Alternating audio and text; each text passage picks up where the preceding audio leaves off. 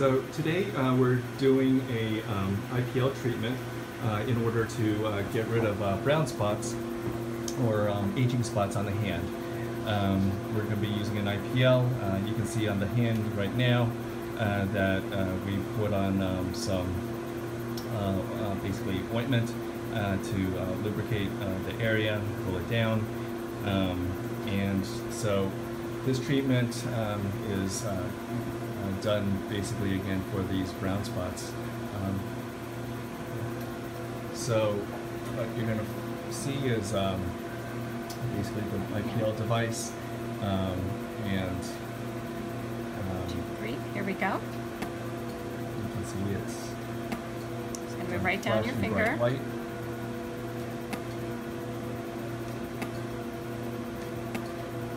And what's going to happen is, uh, in the course of about an hour, all of those brown spots that we're treating right now, they're going to get a little bit darker. Um, and over a course of a week to uh, two weeks, those brown spots are just going to kind of uh, flake off. And um, she's going to have nice rejuvenated hands um, without all these uh, Nope, aging nope, you're fine. You can leave your Are arm you just like it is. Yep. Okay. We'll start back on the top here. Uh, other ways of rejuvenating the hand is uh, for kind of the loose uh, skin that a lot of people see is we can put in some fillers. Um, that rejuvenates the hands pretty nicely and sometimes we do that together uh, with this procedure. Um, and another alternative to uh, traditional fillers is uh, we can do uh, fat transfers and, um, and again that's to fill out kind of the, the skin excess that some Doing people okay? have Mhm. um, and uh, she doesn't necessarily have. So you notice that she's relatively comfortable. Um, does it hurt you much? Not at all. As she says, it doesn't hurt her at all.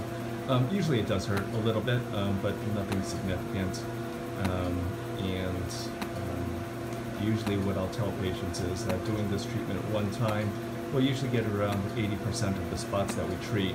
Uh, and um, uh, sometimes you might need to do that second round uh, to get the extra 20%. Uh, some patients will even come in um, uh, a few times uh, every year just to make sure that you know, their hands rejuvenated, and uh, we certainly do this for faces. So